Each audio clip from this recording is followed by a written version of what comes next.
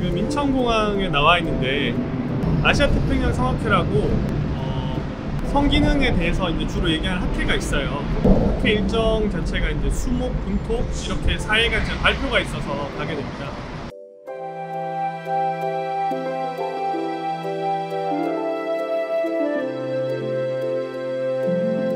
밤에 8시에 타서 지금 아침에 7시에 내린 거거든요. 아, 6시 정도 내린 거거든요. 그래서 일해야 되니까 좀 힘들긴 한데 뭐 비행기 타는 게 그렇죠.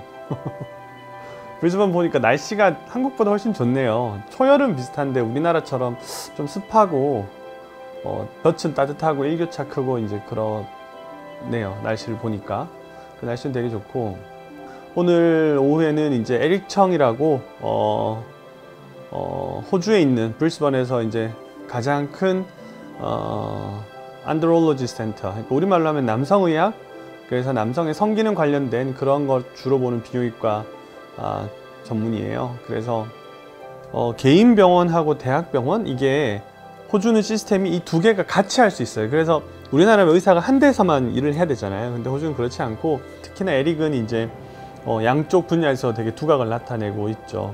아시아 태평양 지역에 있는 이제 성 성학회를 어, 이, 번에 주관하는 그런 업무를 이제 하고 있어요. 그래서 어, 음경 임플란트에 대해서 조금 더 강의를 좀 해보자라고 해서 이번에 제가 이제 참석을 하게 된 거고요. 오늘, 오늘 오후에는 그렇게 에릭 청내 병원에 가서 이제 어, 한번 들여다볼 생각입니다.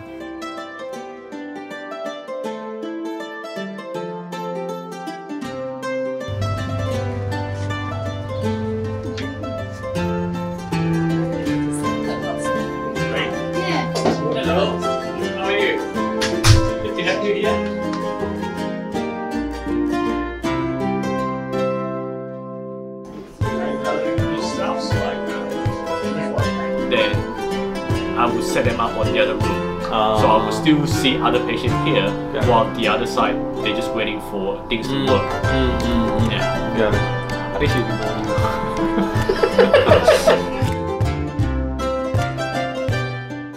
little different from the previous APSS meeting. You are chair of this meeting this Yes. year, and you added a lot of, you know, uh, you helped to include a lot of penal implant sessions with this meeting.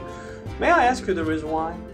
I think probably two four or first four. I think penile implant awareness is at its infancy in Asia. Certainly, there's a lot of issue regarding the adoption of penile implant.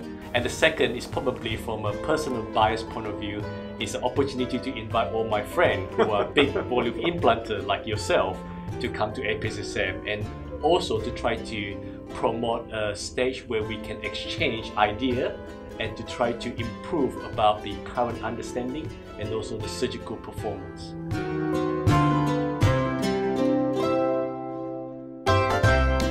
예, 그래서 이제 오늘 어, 에릭청 이제 그 병원에 다녀왔는데 호주가 어떻게 보면 삶의 질에 관련된 의학에서는 좀 더 우리나라보다는 발달해 있지 않나 그런 이제 근거로 제가 생각하는 거는 어, 죽고 사는 문제가 아닌 것도 어, 호주에서는 보험을 해줘요. 특히나 제가 하는 음경 임플란트 수준의 이런 것들은 뭐 전부는 아니지만 그 중에 일부더라도 그런 것들이 이제 보험을 해주니까 결국 그냥 단순히 우리가 죽고 살고 이 문제가 아니고 어떻게 사는가에 정부가 혹은 사람들이 좀 더 관심을 가지는 거죠. 거기에 대해서 이제 보험을 적용해야 된다라고 생각하고 있고 그게 더 발달했다라고 꼭 볼 수 있는 거냐라는 질문에는 제가 정확하게 대답, 못하겠지만 제가 볼 때는 사람들이 단순히 살아남는 게 아니고 조금 더 어떻게 사는가에도 관심을 가져줄 수 있는 게 필요하지 않나. 그래서 오늘 이제 에릭네 병원에 가서 이제 한 거를 보면 제가 질문했던 내용이 그런 거였거든요. 왜 APSSM의 아시아 태평양 성학회에 이전과 다르게 이렇게 어, 음경 임플란트에 대한 세션을 많이 이제 넣게 됐느냐. 이번 에릭 청이 이제 학회를 주관해서 이렇게 꾸려 나가게 됐으니까.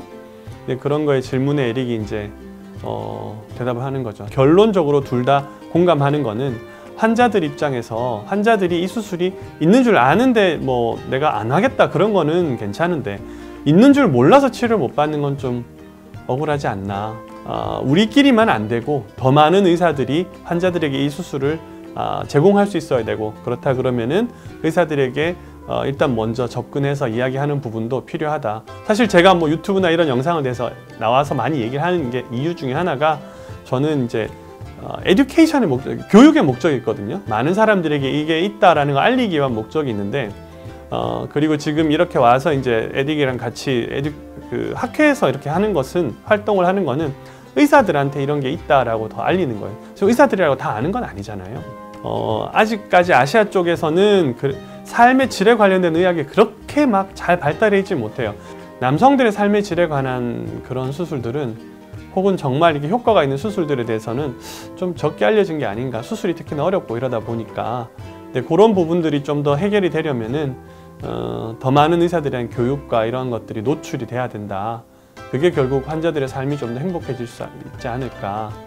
정말 이게 수술 받고 나서 환자분들 삶이 바뀌는 걸 의사들이 보게 될 거거든요. 그래서 그런 부분에 대한 이제 공감을 해서 내일부터는 이제 긴 학회 여정이 시작되겠죠. 뭐 까데바 워크샵도 하루 종일 해야 되고 그다음 이것도 하고 저것도 해야 되고 이제 각 학회 발표도 해야 되는데 그런 것들이 시작될 것 같습니다.